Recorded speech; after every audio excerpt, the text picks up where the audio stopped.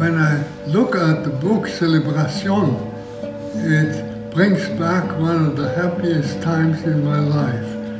The time in Patagonia with Diego and Gabi and so many other good friends was a real time of celebration. Patagonia itself is a wonderful place that invites celebration.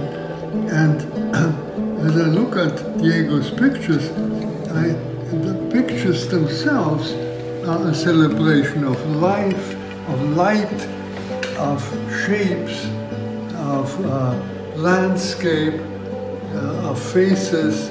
Uh, Diego uh, knows how to celebrate life in and through his pictures.